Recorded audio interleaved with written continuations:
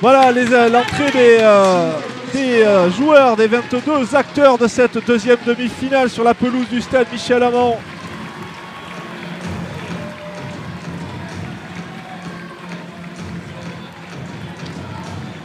Avec voilà le coup d'envoi qui vient d'être donné ici sur la pelouse du stade Michel Amand pour cette deuxième demi-finale de la Coupe Gambardella Crédit Agricole entre le stade brestois et l'Estac.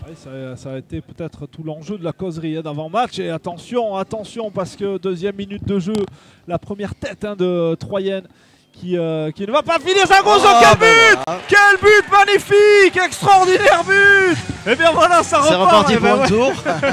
Et deuxième, euh, troisième minute de jeu, quelle frappe Extraordinaire frappe C'était un centre-tir, je C'est un pense, que, je pense que lui a voulu tirer. hein. Et numéro 3. Bien joué vers Ah, ça l'avant. c'est bien fait, c'est bien fait, il faut... Ouais, ça va aller vite. Ah, oh, c'est bien fait avec Voilà. ce très bon contrôle, on est rentré dans la surface de réparation Oh, Aïe, aïe, aïe, Il a c'est- manqué Il, il a un joueur aussi disponible. Mais enfin, c'était. Il peut marquer. Oh, il hein. il Allez Wow, ça, c'était ambitieux. Ambitieux, mais bon, pourquoi pas. Pourquoi pas? Il n'y avait pas de calembour hein, là-dedans, Franck. Je pensais qu'il allait relever. Bien joué ça. Ouais, bien ça, joué. Bien fait la remise euh, de la tête et de suite la reprise qui va passer. euh, Ah, le gardien, peut-être qu'il aurait pu la laisser sortir en, en 5m50. Ouais. Comparativement à ce qu'on peut attendre d'un garçon comme ça, attention quand même à Lenny Pintor. Ah oui, oui, bah. C'est aussi. Attention euh, aussi là. Oh, attention à ce Ah, ballon Quel arrêt Quel Quel arrêt. arrêt Quel arrêt sur sa ligne Magnifique. impeccable de Jason Fesquet Ah ouais. qui est venu sauver hein, les Brestois. Euh, eh presque endormi, j'ai envie de dire, hein, parce que cette action, on ne l'a pas vu venir. Ouais, on était sur autre chose là, mais euh, et- sacré arrêt du gardien. là, euh, Quel. Oh là là Et peut-être que ça aura des conséquences. euh. Je suis désolé hein, si j'ai. euh, Oh bien, bien, bien. Regardez, j'allais vous dire. Oh, Voilà. Et bien voilà l'égalisation voilà. brestoise Et voilà. La voilà l'égalisation brestoise. Elle vient de qui?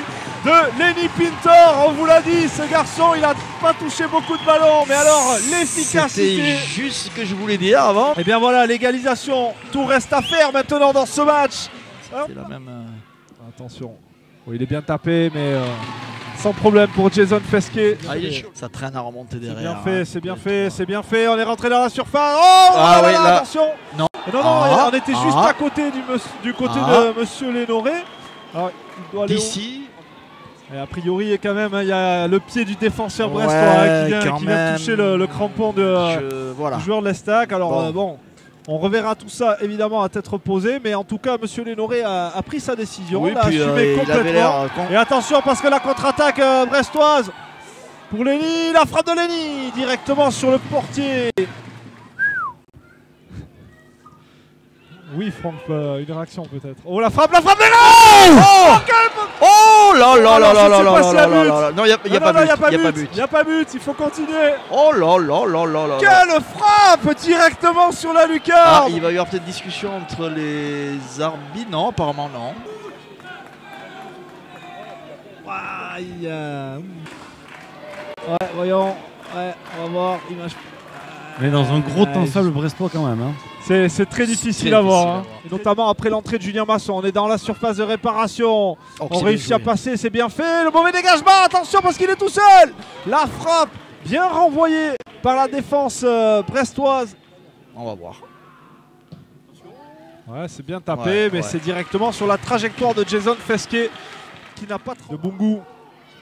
On est toujours à la- aux, aux abords de la surface de réparation troyenne. Ce sont les Brestois hein, qui ont les ballons. Attention, hein, Attention, maintenant, il y a deux contre deux, contre-attaque. là. Un non, deux non, non, contre et deux. non, et non, il faut se parler, il faut se parler, messieurs, il faut se parler. C'était sûr. Oh là là Oh là là là là là là. Il manque le plus facile. Corner était euh, mal tapé, trop court. Ouais, ça c'est bien tapé. Ça c'est bien Oh tapé. La tête euh, décroisée.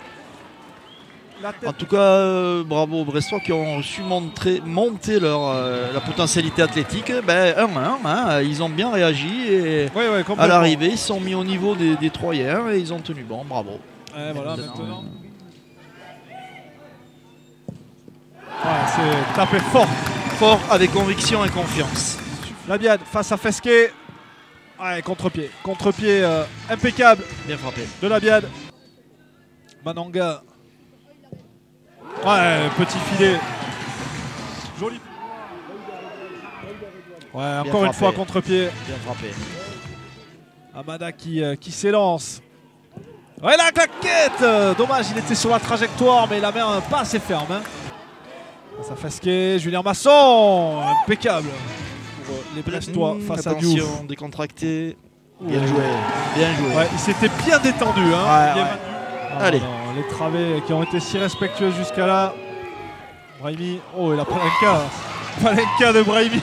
Ça aussi, ça traduit vraiment une force mentale chez ces joueurs.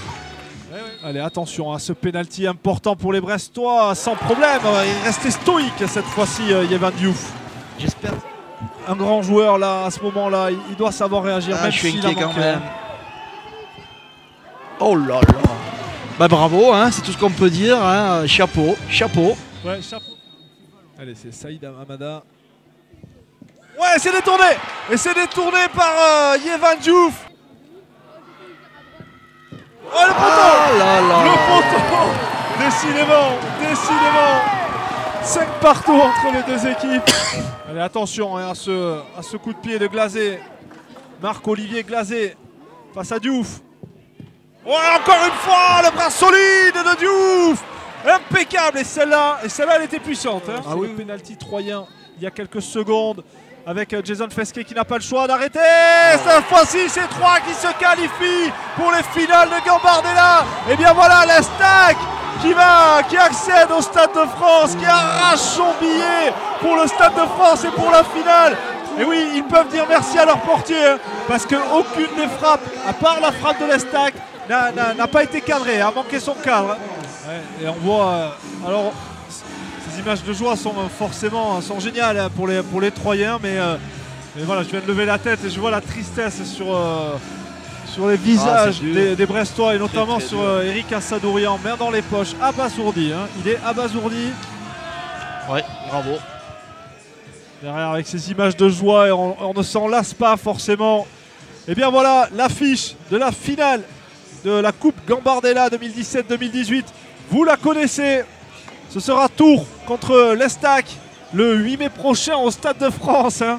Quelle affiche et quel bonheur hein, pour ces joueurs, pour ces jeunes joueurs U19.